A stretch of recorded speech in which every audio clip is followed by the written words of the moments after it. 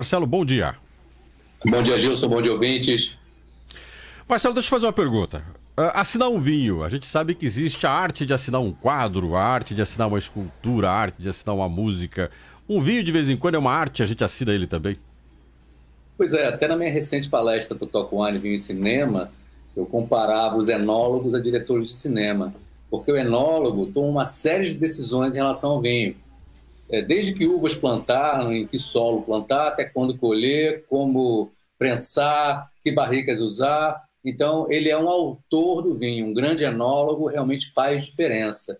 E os, os apaixonados por vinho muitas vezes é, vão comprar o novo vinho do enólogo, como você vai ao cinema para ver o um novo filme do seu astro predileto, tá? Que quem assina o vinho, ele tem toda uma preocupação de criar um conjunto de elementos para criar um sabor específico. Ele tem uma, uma tremenda responsabilidade com o vinho, né? Pensa que hoje em dia os chefes de cozinha são grandes estrelas, né? Os enólogos também, assim, é são muitas vezes são mais famosos que as marcas dos vinhos do que o próprio vinho, entendeu? E você tem grandes nomes aí pelo mundo, muito conhecidos. Não, não, não vou citar, posso citar três ou quatro, mas há, há muitos, né? E são grandes especialistas é, que sabem como transformar a uva em vinho como ninguém e dar o seu toque pessoal, tá?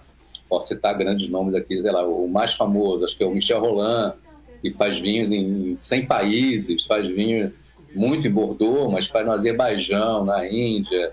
É, a gente tem na Itália o Riccardo Cottarella, que faz vinhos em dezenas de vinícolas também, em outros países.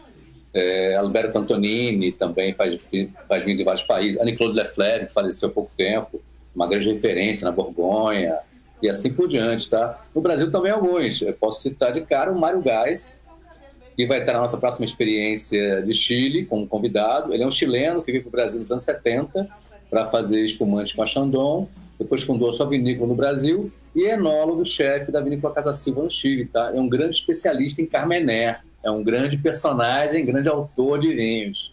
E ele vai estar no Talk Wine, quer dizer, a gente vai ter o prazer de conversar no Talk Wine com um, um desses autores de vinhos, esses senhores dos vinhos. Sim, ele é um convidado especial, vai estar presente. Eu, eu sou, sou um amigo pessoal dele há muitos anos, eu o convidei. Ele vai estar lá falando dos vinhos que ele faz no Chile, tá? A gente vai degustar dois vinhos dele. Um que é o Sauvignon Blanc Casa Silva Cool Coast, um vinho feito na costa chilena, um vinho com um branco com grande frescor, é banhado pelas águas frias do Pacífico, esse, esse frio dá um frescura ao vinho.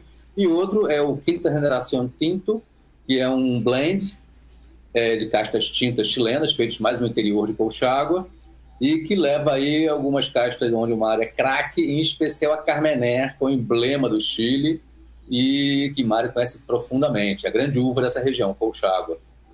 Para matar minha curiosidade bem rapidinho, tô com meu tempo quase esgotado, mas fiquei curioso. Se disputa um autor de vinho, um grande mestre de vinho por vinícolas, ele pode ir de uma para outra e de repente levar consigo toda a, a, a, os simpatizantes do que ele produz?